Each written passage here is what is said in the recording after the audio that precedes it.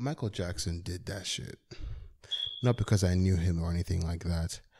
I have reason to believe that when you make over about $10 million, a little spirit comes on your shoulder and goes, Touch kids. And you go, What? And he's like, Touch kids. And then you touch kids.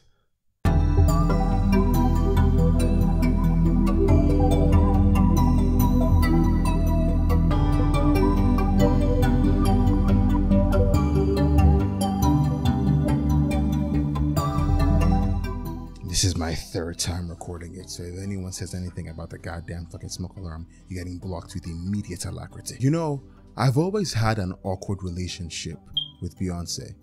I just never really got the hype. With the exception of Blinding Lights era Weeknd, no one's really been able to match Beyonce in the weight of her ethos. Taylor Swift or Drake might technically sell more records, but people hate those guys. They're divisive. Beyonce is universally beloved in a way that scared slash scares me. Why does she get to be God? Why does MJ?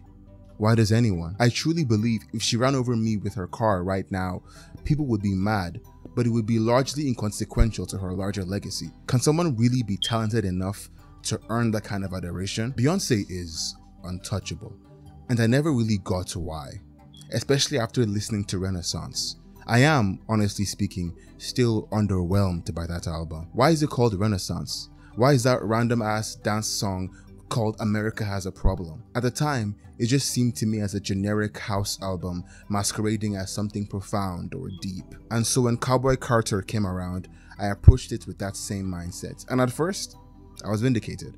She dropped Texas Hold'em and I scoffed.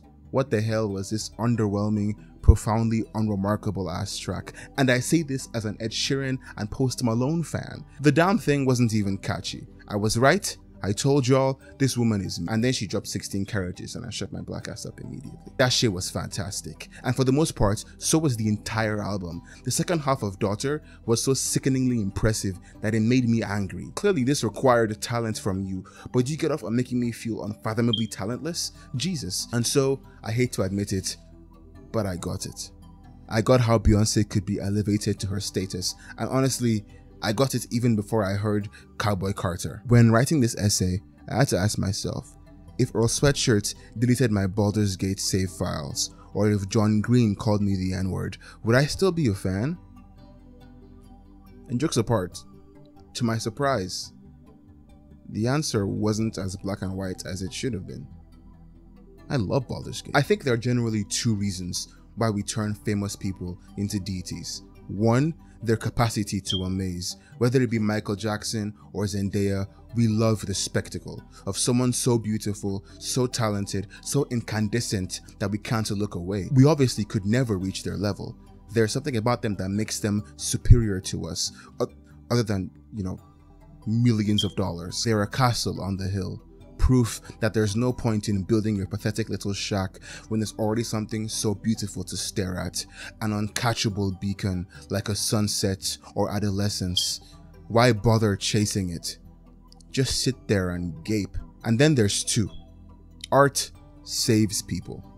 John Green's Turtles All the Way Down and Earl Sweatshirt's Solace are a pillar, are a pillar. Just die in the fire, little nigga. You're not built for this. Are pillars in the infinite spiraling labyrinth I call a consciousness. They brought me hope when my arms were too weak to dig for some. Of course, I placed them on a pedestal. How could I not? They were the light at the end of the tunnel. I played Riot on loop over and over again.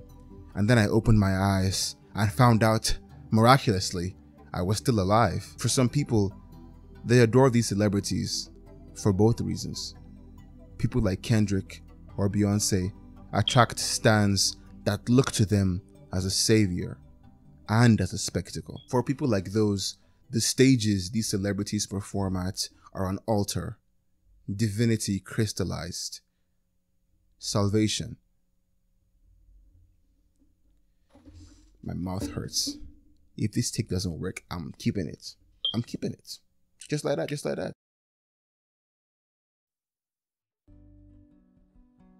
The problem is when we raise people high enough, they turn into aircraft. celestials even, and we turn into ants. Both parties lose nuance. Beyonce is untouchable because she is Beyonce. No further clarification is needed. She has become a law, like gravity or time. I don't actually know if Michael Jackson touched those kids or not. I like to joke that he did because I'm afraid of the truth. The truth is, if he wanted to, who was gonna stop him? Me? You? We know for a fact that he was sleeping in the same bed as those kids that weren't his. If Justin Bieber or Ed Sheeran did that shit, would we as society still look at them the same way? I'm not talking about money, I'm talking about respect, about worship. MJ was more talented than I could ever imagine.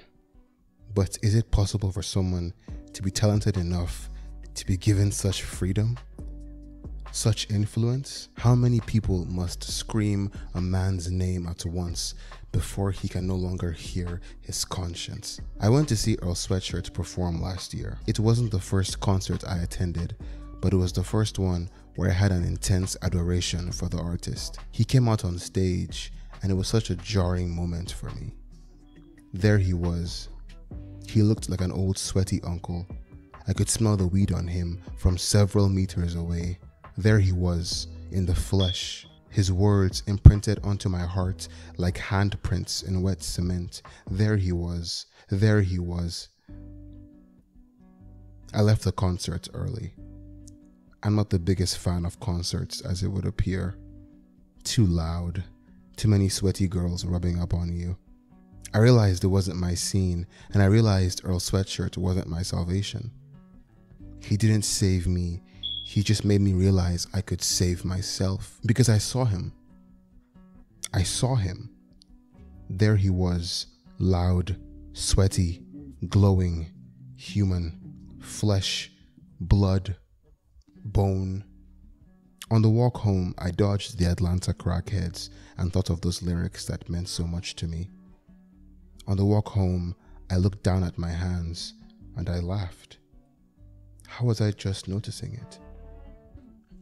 The bastards had been holding God this whole time.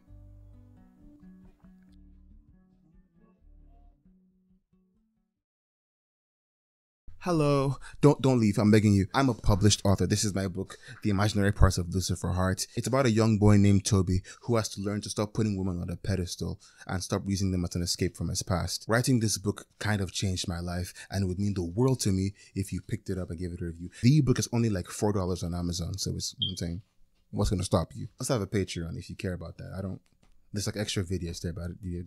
Buy my book. That's important.